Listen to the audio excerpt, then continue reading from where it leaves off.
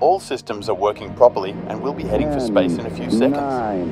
Ignition sequence start. Six, five, four, three, two, one, zero. All engine running. All engines are working properly.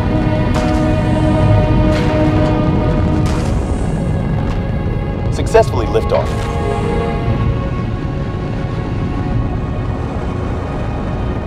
Booster engine cutoff stage separation.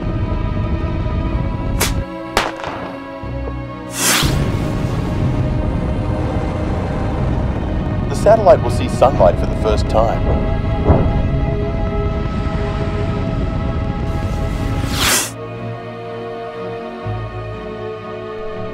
Our control room erupted in applause.